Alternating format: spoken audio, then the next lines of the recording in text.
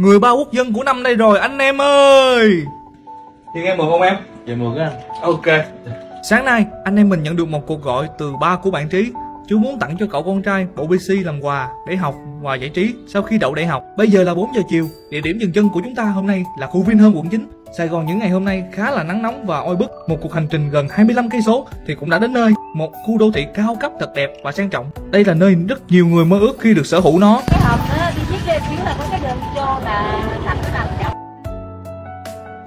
Ôi dạ anh ơi, uh, em đứng ngay sảnh S5 rồi nè.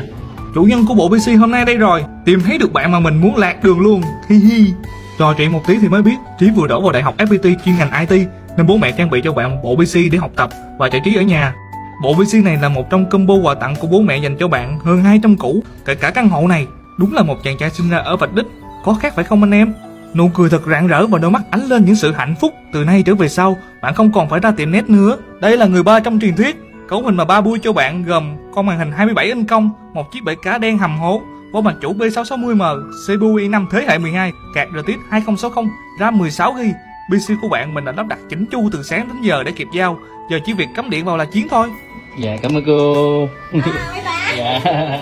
Anh em vô. Cái Vô. Một, Hai ba. Vô. Vô.